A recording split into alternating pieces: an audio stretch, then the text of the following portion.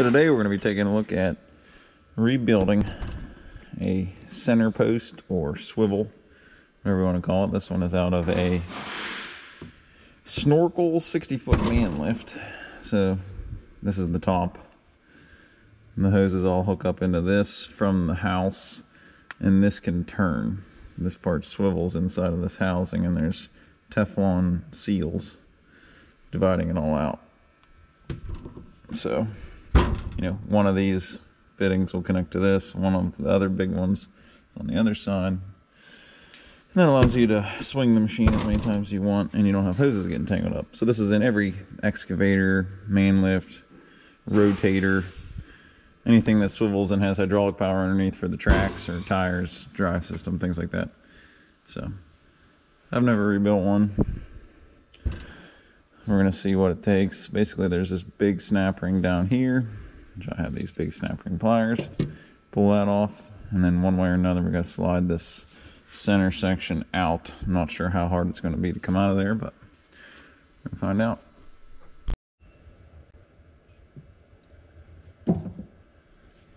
So, see what we can do on the snap ring here. You making a Facebook post? Making a video. What? Making a video currently. Not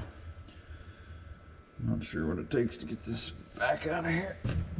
Not much. I say I can do this radio with power on. Yeah. Because this is quite ridiculous.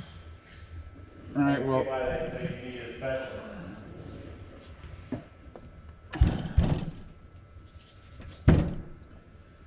I'll be out and try to keep the dirt out of this thing.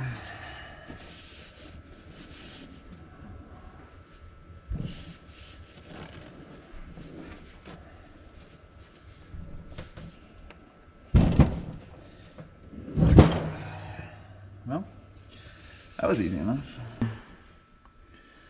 So you can see each section is divided out. So the oil is trapped in these rings. And the whole thing's in this nice smooth barrel. And in each ring, there's a port going to the outside.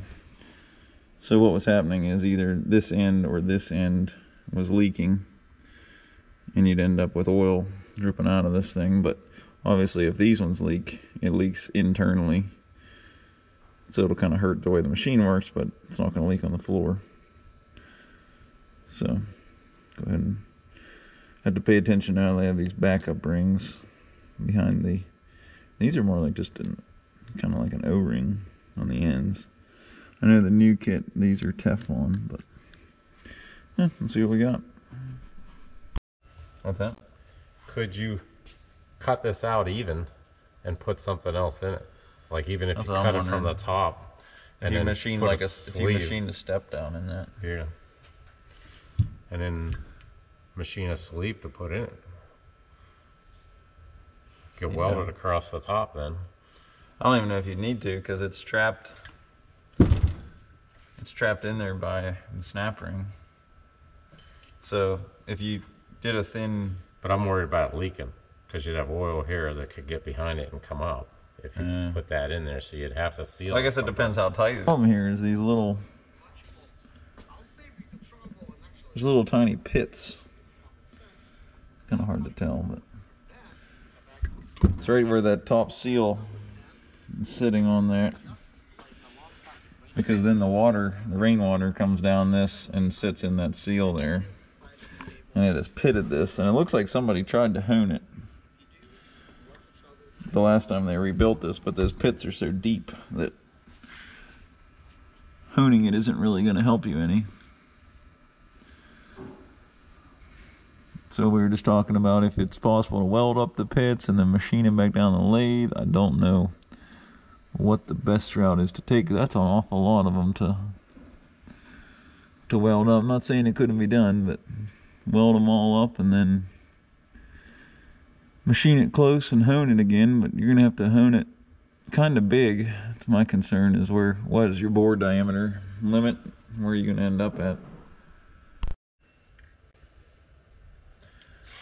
Go ahead and see what kind of measurement we can get on her.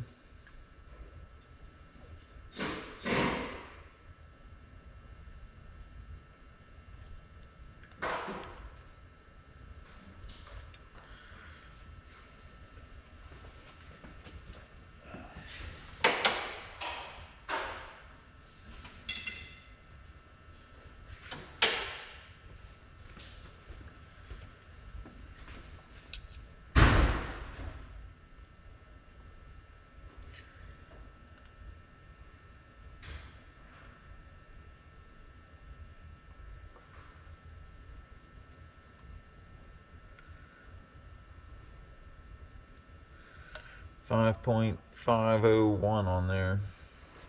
5.401, I'm sorry. 4.501. It's 4 to 5 inch mic. It's a little bit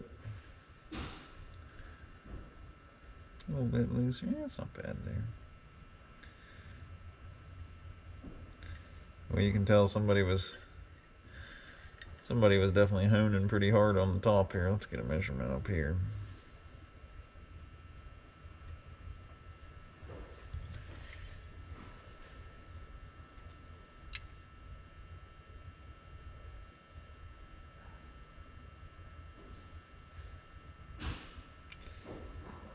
It's about 504. So, so, so, What did you do? well, the top of this swivel, whatever you want to call it, it's all pitted inside there, and it looks like somebody just recently, you know, honed it to death. It's like three thousandths bigger at the top, but there's all these pits, so like you're nowhere near getting them out of there with that hone, and and and they're right in where that top seal ring goes. Okay. And I'm just wondering if the easiest course is to kind of machine out that whole area and make yourself kind of like a cam bearing that you'd press in there. Yeah. So we're gonna load all this up, head out to Chaos, see about machining this down and uh, making a ring. So shouldn't be too bad. Probably gonna end up a long day of that, but we'll see what happens. So I found this chunk, three quarters thick, five inch OD over in the scrap. I'm gonna take it in the lathe and turn the OD down to probably somewhere right in like four and five eighths. And then I'll bore that out of this outer housing. And I'll machine the inside of this donut out close, rough it in more or less.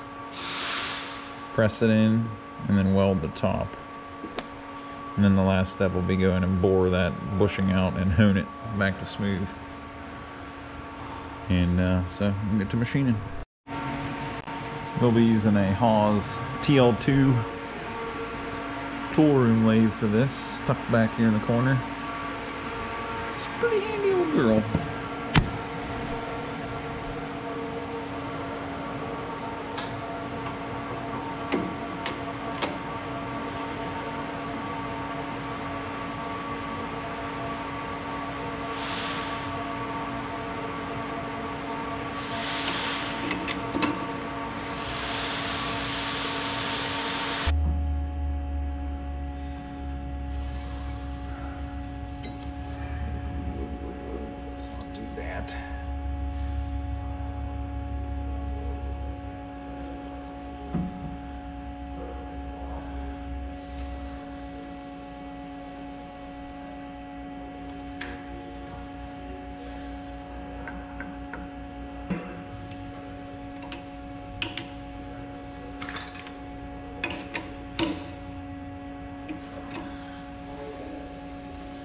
Close enough.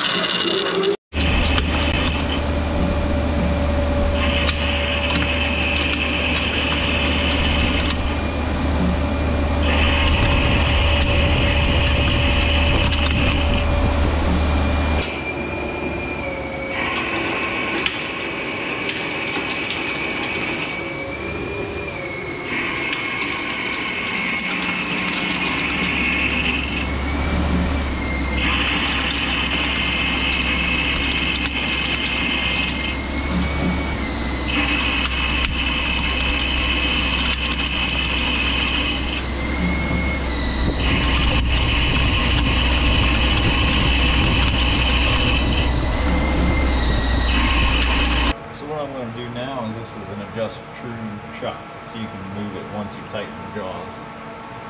So I want to align off this center bore with the indicator so that we're good and concentric to indicate off once it's pressed into the housing. We're not bad here. We're like three to four thousandths out, about four thousandths. It's not bad.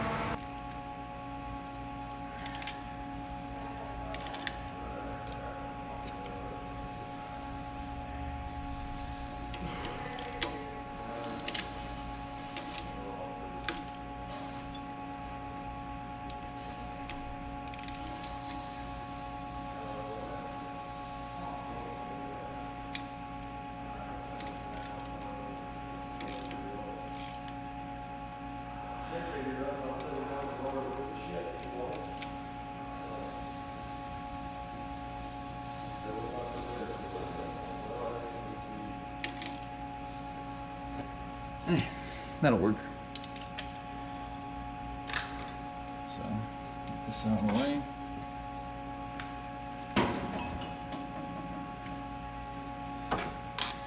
Switch back to our OD tool.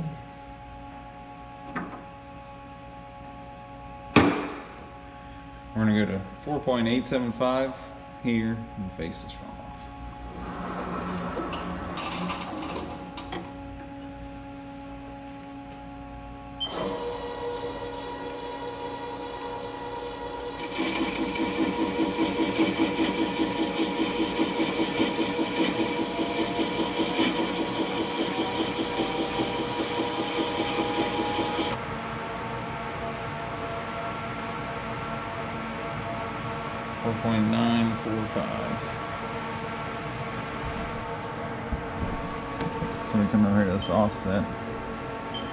set this up as tool one. I'll do tool two. So we do 4.945. And then we go ahead and press F1. And that, nope, sorry. 4.945 X diameter measure. Have it in there. And that sets this tool offset. And we just bump up against the front of the part and press the Z face measure. That tells the lathe where it is in the Z. So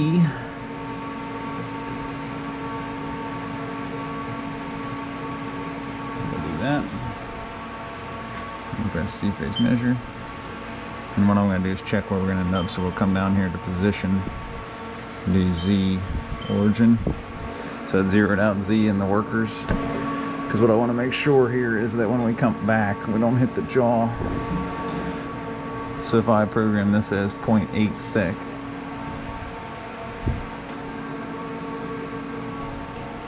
that's 0.799. And we're fine. So if I program that as 0.790, we'll be good. So we come in MDI, conversational, back out to an OD turn. We're gonna do tool tubes, that's what we just set up. Before we're at zero, outside diameter is 4.945, so it's measured that. Diameter to cut, that's what we want to go to. We're gonna go 4.875 eventually. I want to do 4.90 so that we can check our dimension. And this is that Z dimension I just talked about. So we do 0.790. Depth of cut, 20 thousandths, that's fine. 6 thousandths per rev. Max that, surface speed, probably bump that up a hair. Okay, so this should be good to go. And so let's put her back in freewheel. Get it out of the way. Turn the rapid override down to 5, and when you hit the green button, it'll start this program. Right now, it wants us to change to tool 2, so we have tool 2. Going to ease in and start cutting. So you usually take more of an air cut on that first pass. We did start cutting into it on this side and the back side before. And then you'll be able to watch how close we get up to those jaws. Good to go. We can speed the rapid up now and let her do her thing. And then uh, we're gonna measure it and see where it comes out.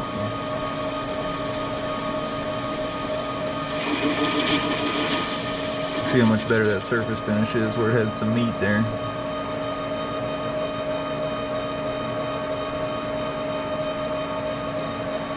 That's 4.94 is the diameter it's cutting right now.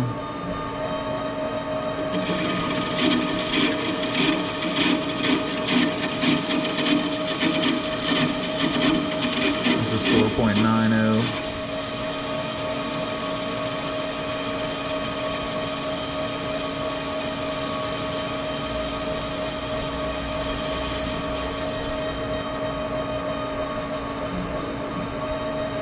I was gonna try to get, cut it again, but I'm just gonna stop it there. Has to do with the way that macro works.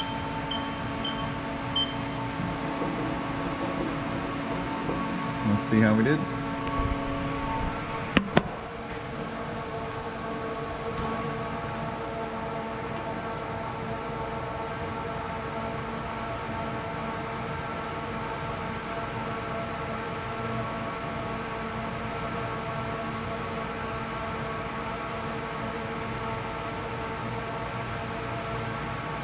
On the money, 4.90. So I'm just gonna go ahead and change the program here. Start at 4.90 and go to 4.875. And uh, everything else will stay the same. Let it rip.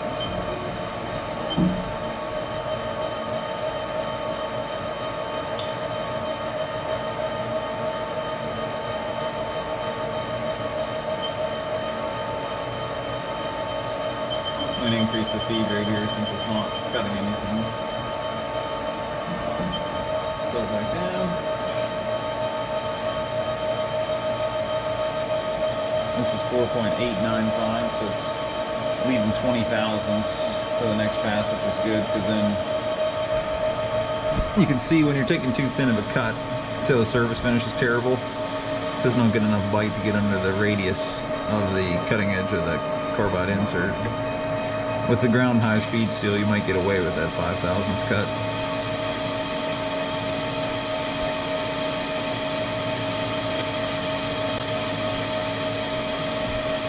And this is the last pass.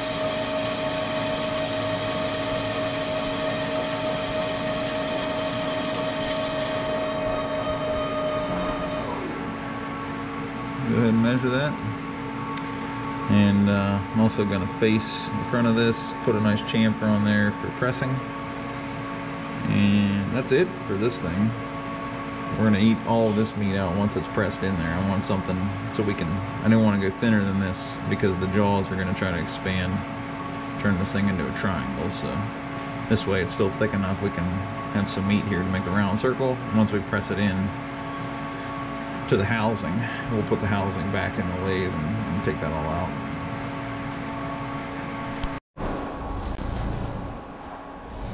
Next thing we're gonna do is bore this housing out. That's where that bushing we just made is gonna get pressed into. So I'm just gonna clean off this bottom surface good. I'm gonna let it just ride right up against the chuck. And then uh, center them up real well. There. Slow down up.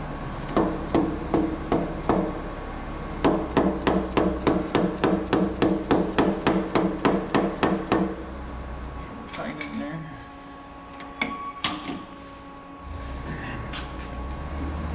Go ahead and get on her.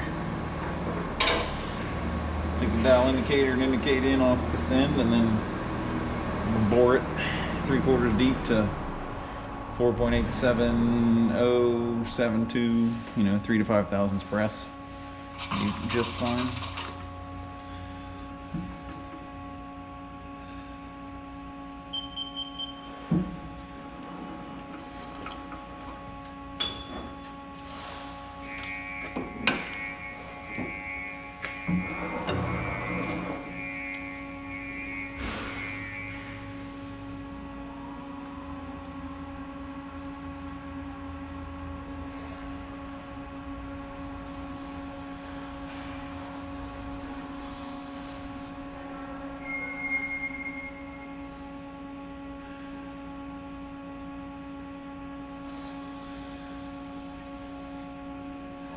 That's the point there where it's furthest up.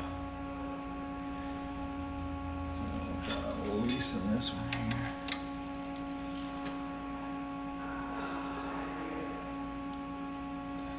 Made a difference.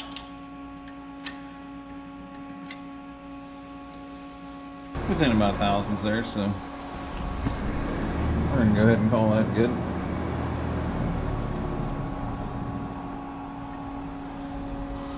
And uh, we're not going to turn this real fast. It's not going to be super balanced with all these different fittings on it. We'll keep her, you know, 300 RPM or so. That'll be alright.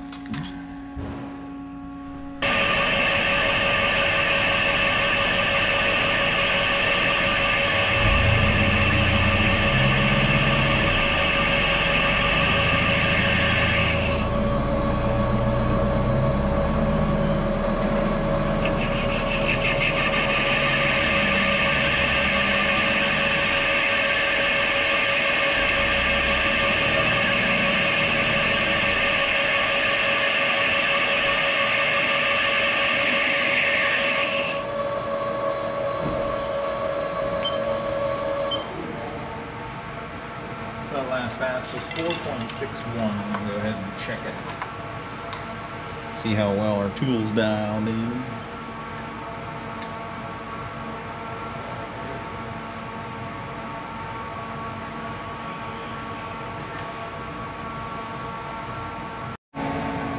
Alright, so we checked our numbers. We're gonna run this to 4.870. Just check the ring again, it's 4.874. So we adjusted this diameter, we checked it here, so we're just gonna go for it. Should have 4,000s of press fit. So even if we're a couple hundred, 2,000s, and we're gonna weld this thing anyway, so it's gonna be fine. Pretty silly. We're still gonna send it.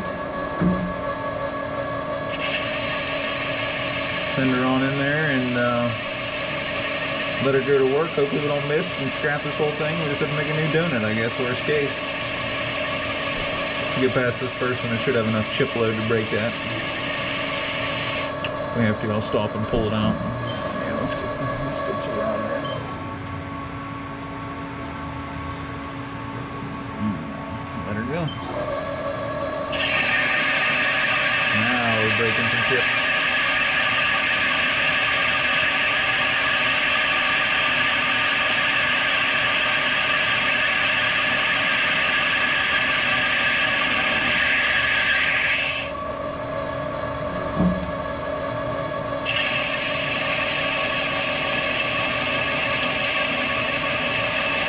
This is the last pass. 4.87 is coming right up.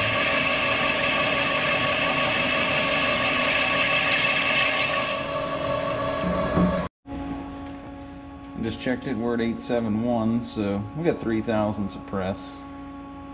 It's gonna be plenty for what we're doing. Go ahead and get her pressed in there, weld that ring in, and then we'll be back in to bore all that material out, hone it, and call it good.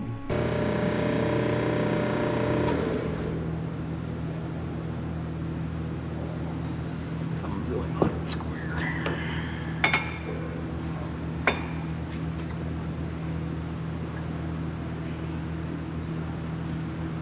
Burr on the top of that's not really helping the cause. We're gonna take care of that here in a second. Go ahead. Oh.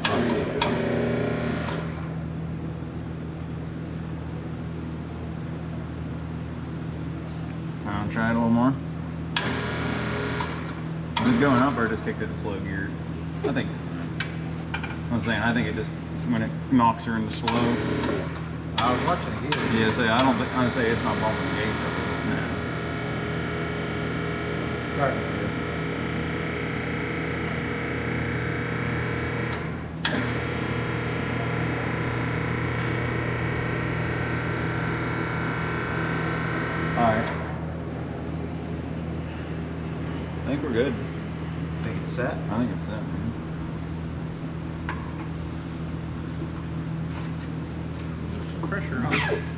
I say when it started pushing the table down.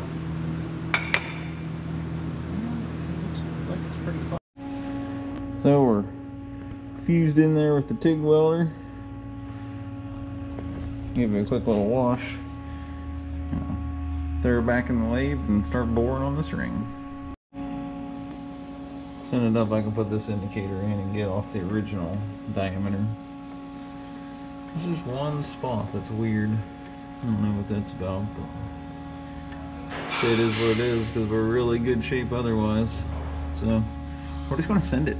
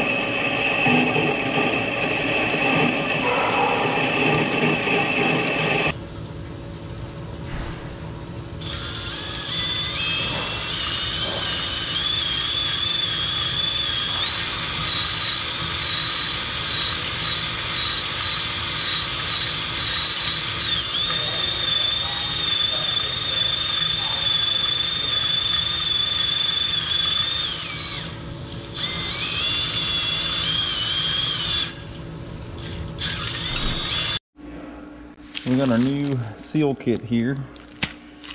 And what they are, Teflon rings for each of these.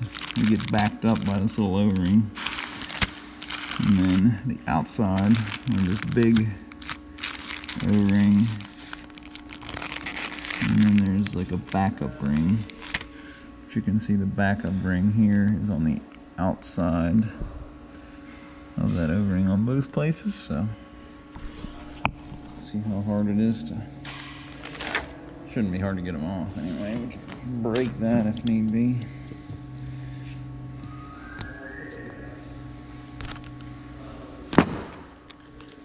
Let's see what we got there.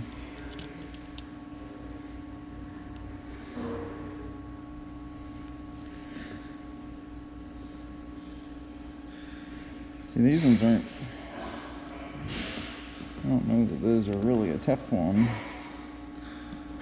And, uh, yeah, I guess so. Yeah, it's some sort of a plastic deal. And then has the little O-ring preloader, whatever you want to call it, underneath. So I'm going to pull all these off and get her cleaned up, ready to install the new parts. So I went and gave this thing a, a, a, bath, cleaned all the crap out of everything here. Same thing with the housing. Go ahead and start putting it together. So these backup rings are the first thing on that slot and then this and they do have kind of a, a concave side so put the that towards the O-ring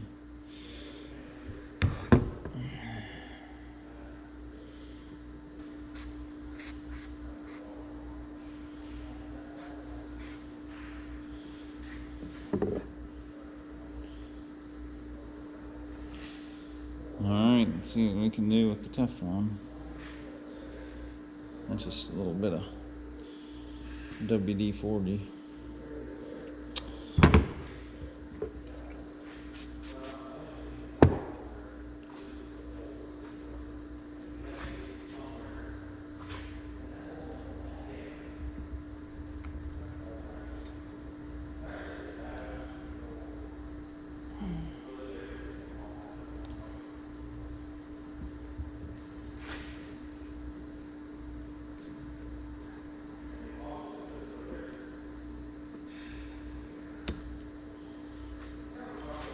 Keep jumping them down around the ring and see what we can do. I think it might just take a little time for this Teflon to to shrink back up after that stretch.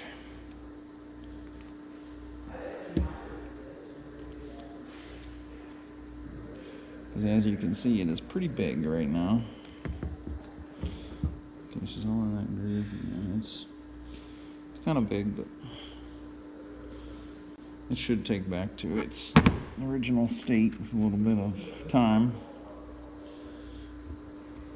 That's what they normally do on a hydraulic cylinder, anyway.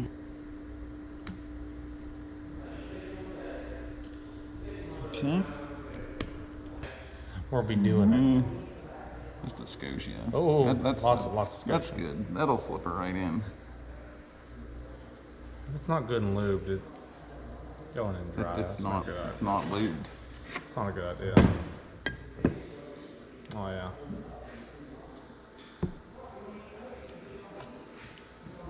This is the right way, right? Yep, goes right in. These are the non-compressed O-rings now. May take a little tappings.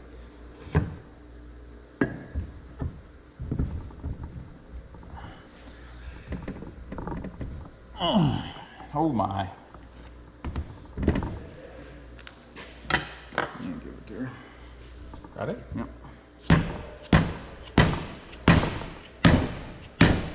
Got one? Looks like it needs to go that way a little bit more. I'm just making sure that O-ring is Yeah. not. Hold on, that I don't like the way that backup ring is like folding up around there. Okay. See that that is the biggest one. Is that just like this one? It's like hmm. way up.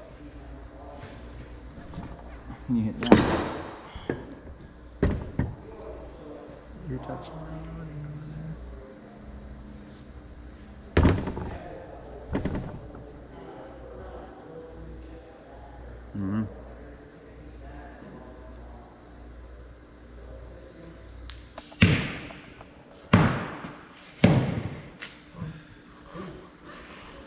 Oh man, you really mooshed her.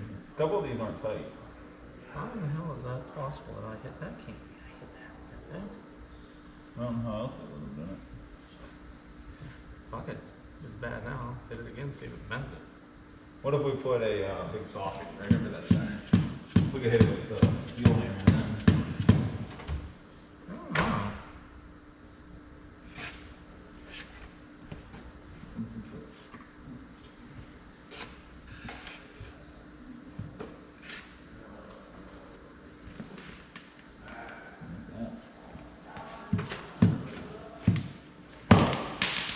Let's do it with the brass.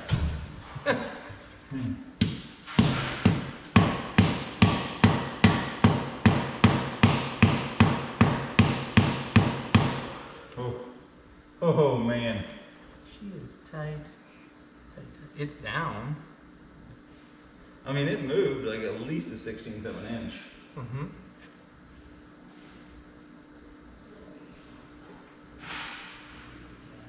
I wonder if that rubber's all rolled up, screwed up. It's almost like if you go a little further and then back it up and then go. I doubt that thing's rolled up because it, it went in without pushing it up out. Uh, that's true. You know, usually if it rolls them, they'll come, you know, flying out of the hole, cut up. Yeah. You have a brass one, or would we destroy that socket?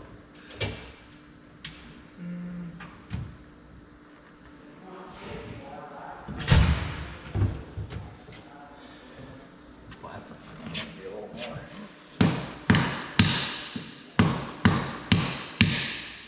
It's more if I didn't want to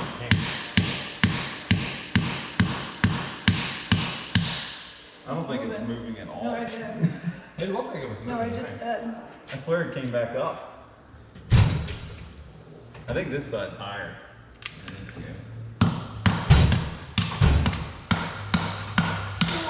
Broke the O-ring. Yep, it didn't go.